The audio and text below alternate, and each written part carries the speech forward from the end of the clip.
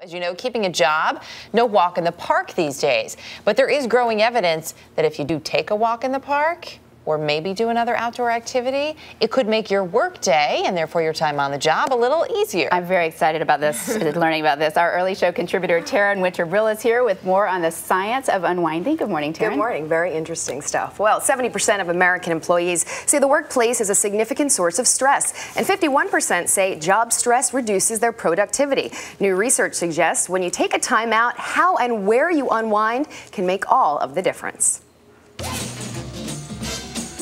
Why does it say pepper jam when there is no pepper jam? I swear to God, one of these days I, I... It's one of those moments when you know you need a good old-fashioned timeout. But what's the best way to take it? When you do run away and you get a chance to get outside, how do you feel when you head back to the office? Better. Much better. You go outside for 10 minutes.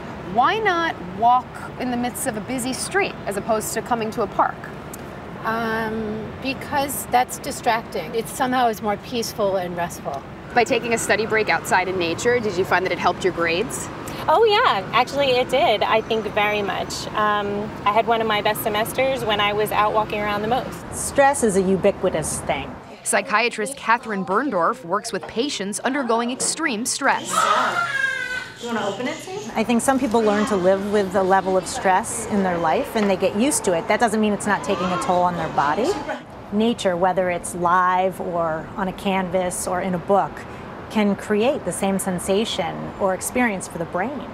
Research shows a 20% improvement in memory and attention after a short walk in a natural setting. And even sitting at your desk for 10 minutes looking at pictures of nature yields a bigger cognitive boost than walking down a busy street. Do you ever find yourself downloading pictures of nature in the office if you can't get outside? Um, yeah, actually, my backdrop is a picture from my hometown.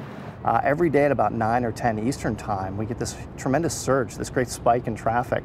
Brendan Hart works in the marketing department at National Geographic. He says their photography website gets over 60,000 hits a day. They'll browse the photo of the day, they'll perhaps download it with desktop wallpaper. These photos are inspiring people to go out and explore the world around them. Uh, they're setting a tone for the day. What's the point? The point is just to, you know, just to get away from your everyday drill. When you are engaged in a very kind of unconscious and relaxed way, you're not super focused and intensely looking at something that's causing you to have to work. So the brain can actually be relaxed. You can let yourself be a little more um, quiet and thoughtless in a good way.